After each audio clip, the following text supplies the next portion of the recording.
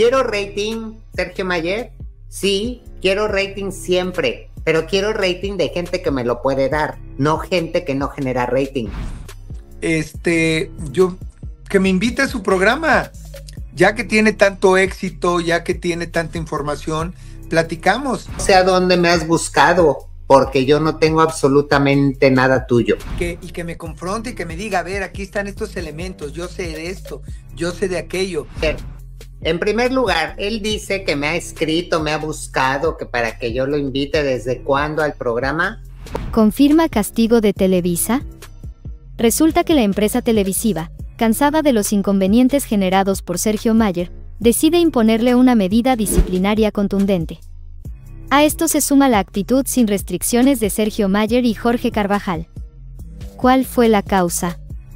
En esta ocasión, se desata una intensa confrontación de dimes y diretes entre estos dos personajes. Además, cabe destacar que Sergio Mayer parece no poder evitar involucrarse en problemas, ya que tras superar uno, se ve inmerso en otro.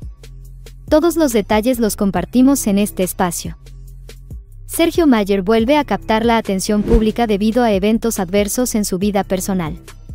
En un principio, se suscitó un conflicto con Wendy Guevara, quien alegó que mantuvieron una disputa y se distanciaron a causa de los intentos de Mayer por imponerse como su representante, según lo manifestado por la influencer. Este incidente coloca nuevamente al actor en el epicentro de la controversia, provocando especulaciones y comentarios sobre sus interacciones y elecciones en el ámbito personal. Las acciones supuestamente emprendidas por el político mexicano y también actor generaron descontento entre varias personas. Sin embargo, cabe recordar que hace unos días se había visto envuelto en nuevos escándalos y controversias. Esto ocurre después de que su hija, a través de las redes sociales, le preguntara cuándo regresaría a casa, lo que ha avivado aún más la polémica en torno a su vida personal y sus relaciones familiares. Como consecuencia de lo presenciado en ese momento, durante una transmisión en vivo, algunas personas comenzaron a especular que Sergio Mayer e Isabela Camil podrían estar separados.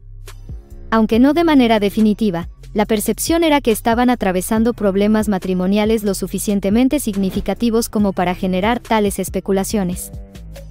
La noticia sobre la decisión de Sergio Mayer e Isabela Camil de vivir separados fue divulgada en el programa En Shock de Jorge Carvajal.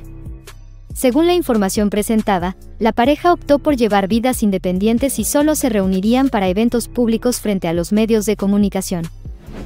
El periodista señaló que lo más probable es que, al ser cuestionados, la pareja negará la veracidad de la situación. No puedo afirmar si Isabela y Sergio llegarán al divorcio, pero lo que sí puedo afirmar es que en este momento están atravesando dificultades como pareja, viviendo en casas y camas separadas.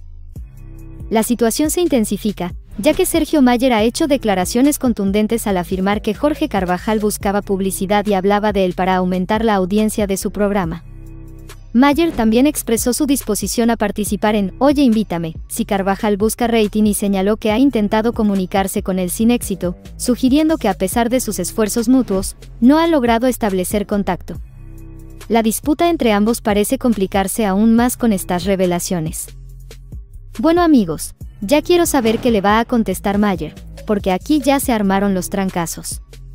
Y en esta ocasión, fue Jorge Carvajal respondió a Mayer diciendo, Carvajal dice que Sergio le ha escrito, lo ha estado buscando, que para que yo lo invite al programa, pues déjame decirte que no tengo absolutamente nada ni un mensaje ni nada. Como número uno. Y número dos, quiero rating, Sergio Mayer. Sí, quiero rating siempre, pero quiero rating de gente que me lo puede dar, no gente como tú que no genera rating. O te recuerdo el fracaso de la guarida. La del Teen Infierno. ¿Ya no te acuerdas, Pancha? ¿Ya no te acuerdas de aquel 17 de noviembre en Canal 5?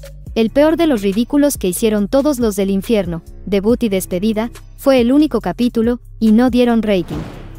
Y tú no diste rating. Y tú dices Sergio Mayer que me vas a venir a darme rating a mí, pues sabe, yo aquí en este canal tengo lo que tú quisieras tener. Y no fue nada más eso. Carvajal soltó un notición y acaba de decir que el mismo Mayer se molestó muchísimo con unas personas por haberle soltado información. ¿A qué se refiere y por qué lo dijo? Según Carvajal, le pregunta Sergio que si le puedes decir por qué llamaste a esa misma producción para reclamarle después de que yo di la información. ¿Por qué le dijiste que cómo se atrevieron a contarle a Jorge Carvajal lo que dijimos Isabela y yo? Si según tú yo estaba mintiendo y eso ocurrió en Televisa, y tú lo sabes. Y yo no miento.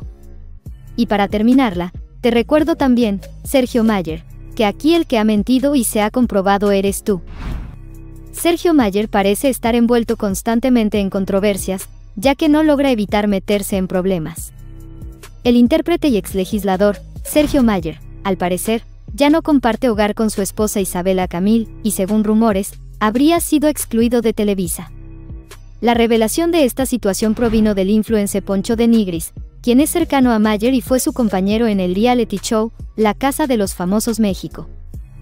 Resulta que el regiomontano tuvo una reunión con los medios de comunicación hace unos días, para promover un nuevo programa en el que será el conductor principal. Ese proyecto se titula Vence a las Estrellas, en el cual compartirá créditos con figuras como Marisol González, Candela Márquez y Fernando Carrillo. En el encuentro con los periodistas especializados en espectáculos, Poncho de Nigris optó por no mencionar el nombre del responsable de Solo para Mujeres. A pesar de ser interrogado sobre los rumores acerca de posibles conflictos, el creador de contenido se abstuvo y argumentó que la cadena televisiva de San Ángel le había prohibido referirse a Sergio Mayer por una razón específica. No puedo. Me encantaría hablar de él, pero al parecer me dicen que está vetado de la empresa y ya me dijeron que yo no puedo mencionarlo.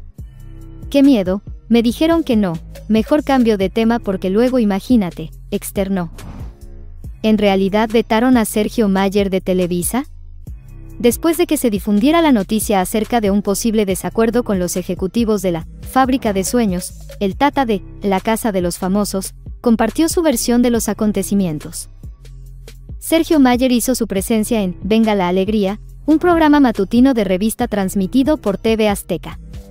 En sus declaraciones, expresó su gratitud por el espacio brindado, y además Sergio Mayer dio su versión sobre si en realidad está o no vetado de la empresa de los Azcárraga. Yo fui ejecutivo en TV Azteca, fui director artístico en Azteca Digital.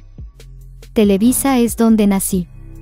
Tengo muchos amigos en Televisa y ellos saben que venía para acá y no porque esté yo aquí quiere decir que esté vetado allá, no tiene nada que ver. El chicken cuestionó a Mayer, a quien le preguntó por qué Poncho afirmaba que tenía las puertas cerradas en Televisa, cuando él insiste en que todo está bien en su casa, está rebuznando la burra, no le hagan caso. Es parte de su show, le encanta hacer show. El hecho de que le hayan dicho que no hable de mí es porque soy su patrón, no porque esté vetado, indicó. Durante la entrevista, abordó las diferencias que surgieron con sus excompañeros en La Casa de los Famosos México, y esclareció las especulaciones sobre si Televisa lo excluyó, tal como afirmó Poncho de Nigris.